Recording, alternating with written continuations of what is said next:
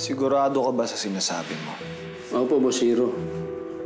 Eros Del Rio ang backer ng bungo na yun.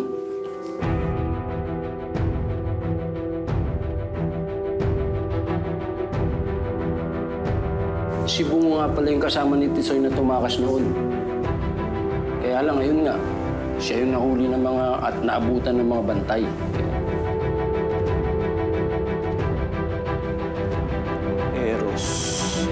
Soy.